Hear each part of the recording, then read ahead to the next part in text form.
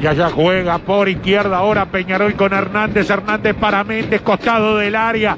Busca la devolución. La tiene Méndez. Méndez entreverado. Terminó perdiendo por el cepillo González. Larga pelota para May. Corre con Rack. Llega Rack primero. Va tirando rápidamente para Menose. Menose va sobre la mitad de la cancha 0 a 0 el partido. Mete buena pelota para Arezzo. La debió para Abel. Tiene el primero. Llegó al área. Enganchó. Tiró. ¡Gol!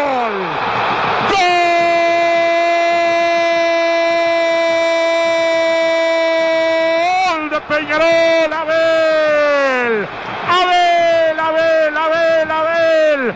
Entró por el corazón del área, hizo un gran enganche y definió de puntín a la derecha del arquero después de una gran pelota que le metió Menose a Arezo. Arezo fue arriba y de cabeza la desvió para la entrada de Abel.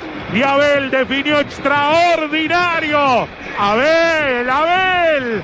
Gana Peñarol 1 a 0. 13 a 0. Si no lo sentís, no lo entendés. Peñarol había sido más que Danubio en el primer tiempo y empieza a consolidarlo, o por lo menos logra concretarlo en el marcador sobre el cierre. Cuando el primer tiempo empezaba a irse, encuentra un 1 a 0 importantísimo para trasladar esa superioridad en el juego al marcador.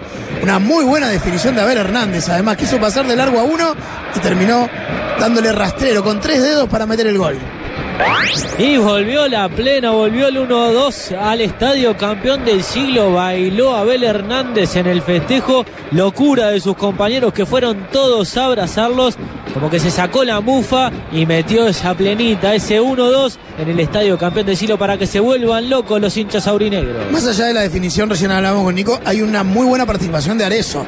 Porque la peinada que hace es, la, es el gesto menos esperable y deja fuera de combate a los dos zagueros con esa peinada. Y Abel Hernández mano a mano.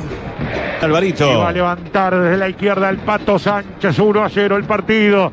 Acomodó 28 minutos casi. Da la orden el árbitro. El centro del Pato Sánchez. ¡Gol! Abel. ¡Gol! De Peñarol. Apareció Abel Hernández después que peinara Rack en el primer palo. Y tocó la pelota a un costado del arquero. Habrá que ver si el VAR no dice otra cosa, pero Abel tocó para marcar el segundo de Peñarol, el segundo personal. Gran centro de Sánchez para poner el partido 2 a 0. 13 a 0. Si no lo sentís, no lo entendés. Hay un muy buen centro de Sánchez que entró muy activo además en el partido, pero hay una excepcional peinada de Rack, que es la que desacomoda toda la defensa para que Abel Hernández entre y la empuje en un momento bastante complicado. Peñarol saca dos de ventaja y respira. Y se le dibuja una sonrisa en la cara a la joya Abel Hernández que señala a Jonathan Rack es tuyo, tira su pasito, el 1-2 clásico, baila plena y después se pone la pelota abajo de la panza, el gesto de que se viene un nuevo integrante en la familia de Abel Hernández y la alegría ahí en el banco de suplentes de Peñarol y la tranquilidad, un poquito al menos para Alfredo Arias, para el técnico aurinegro.